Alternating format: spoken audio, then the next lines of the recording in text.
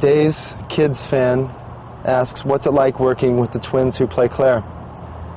And do you play with them backstage too? Those twins are great, Ava and Olivia White. Um, very smart, very intelligent.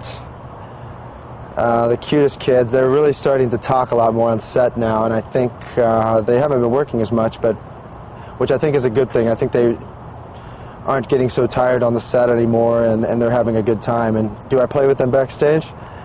Um, sometimes, yeah. They when I, when they first came on onto set, I had I wanted them to get um, used to me and acquainted with me, so I would go into their dressing room and kind of play with them and introduce myself, and yeah, I think it think it worked out. You know, we have a good time on set. Hot one Maggie asks, do you hang out with any other cast members outside of work?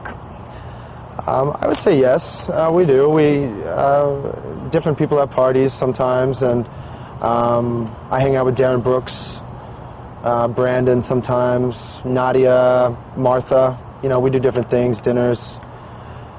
Um, we're at work a lot though, so you know we see see each other mostly there.